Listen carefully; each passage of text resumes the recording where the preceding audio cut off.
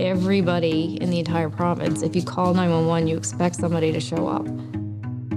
People don't realize that that's just random people in their community that have stepped up to do that for them. Because rational people run away from fire.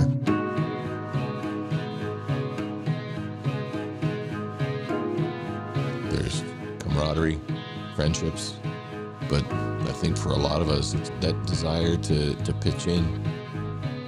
I think it's innate human nature to want to help people. It's natural to want to be there for people who are going through a dark period of their lives. The community is needed. So I kind of feel a responsibility that way. I know I can, so I do. There's definitely an opportunity for people to surprise themselves. I joined saying I'm never going into a burning building, and now I'm a level one interior firefighter.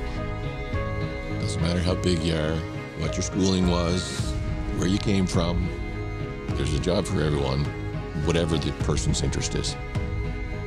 Come give it a shot.